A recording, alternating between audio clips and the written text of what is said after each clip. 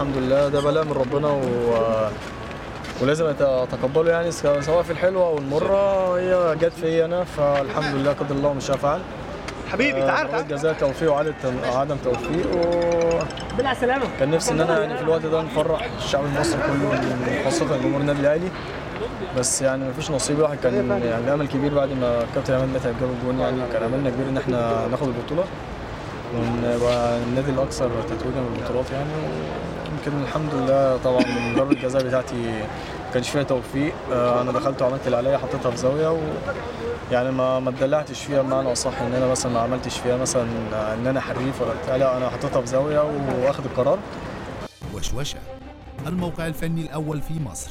رئيس مجلس الإدارة محمود إسماعيل الإشراف العام أحمد الهواري www.وشوشة.org